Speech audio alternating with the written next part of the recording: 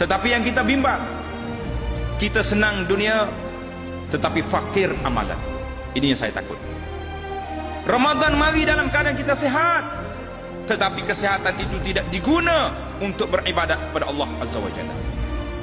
Kesehatan yang kita ada ni kita masih lagi menggunakannya untuk pergi ke sana ke sini. Munda mandir, berjalan ke sana ke sini. Pasar pagi, pasar Ramadan, habis tempat kita pergi. Tapi rumah-rumah Allah Ta'ala menjadi sakit lutut kita untuk sampai ke sana. Ini yang menakutkan kita. Allah Subhanahu Wa Taala beri buka lorong seluas-luas itu. Kalau lebuh raya, lebuh raya pak lain telah dibuka depan kita. Pecuk nak pecuk tak ke mana. Sama ekor sudah tidak ada. Tiba-tiba orang lain lari 140 km sejam.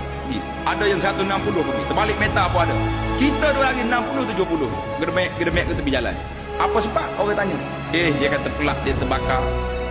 Tayar tak betul. Enjin tak.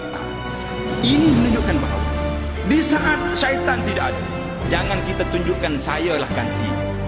Di saat syaitan dibelenggu, jangan kamu tunjuk ini kalau nak kena syaitan.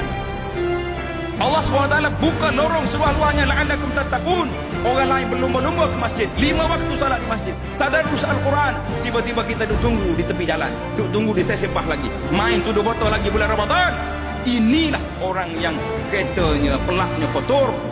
Minyak selenda di hitam.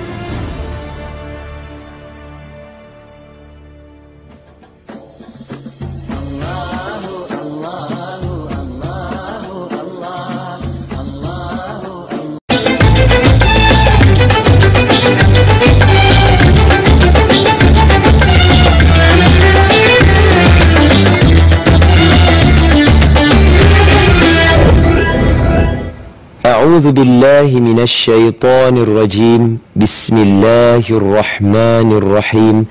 السلام